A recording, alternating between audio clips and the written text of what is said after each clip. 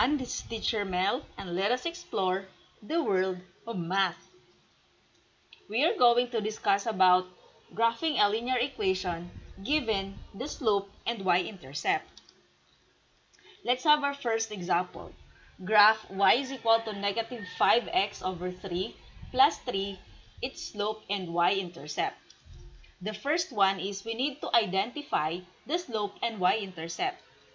So, isulat muna natin yung given problem natin. And we need to identify sino nga ba si slope and y-intercept. Okay. The one with the blue color is the slope. Yung coefficient ng x ay yun ang slope natin, which is the negative 5 over 3. And then yung color green naman, that's the y-intercept, which is positive 3 or yung point natin is 0 and positive 3. The, the second step is we need to construct a Cartesian plane we have our Cartesian plane. The third step, ipaplat natin yung point na 0 and 3. So, yung x natin ay 0 at ang y natin ay positive 3. So, we have this point. Sumunod naman na step, isusulat natin yung slope which is the rise over run. Ano yung slope natin?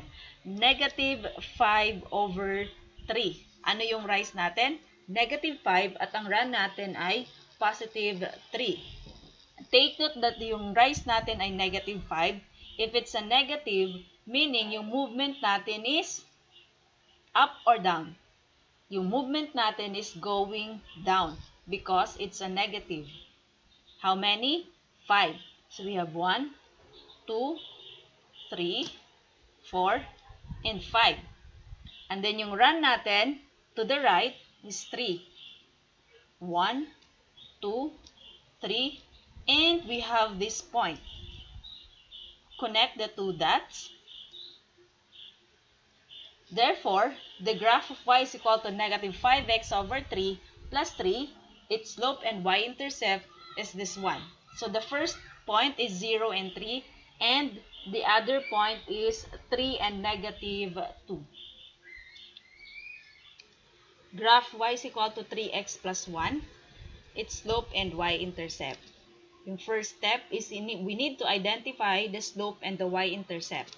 So, yung slope natin ay positive 3 and the y-intercept is positive 1. So, yung point natin is 0 and 1. Sumunod na step, we need to construct a Cartesian plane. So, we have this Cartesian plane. And then, ipa-plot natin yung point na 0 and 1. So, x is 0 and y is positive 1. So, we have this point. Sumunod, the slope, which is the rise over run. Ano yung slope natin? Positive 3. Since it's a whole number, yung denominator niya ay 1. So, yung rise natin is 3 and then yung run ay 1. Since it's a positive, yung movement natin is going up. So, we have 1, 2, 3, and then to the right, we have 1. Okay, plot the point. And then we connect the two dots. Therefore, the graph of y is equal to 3x plus 1 is this one.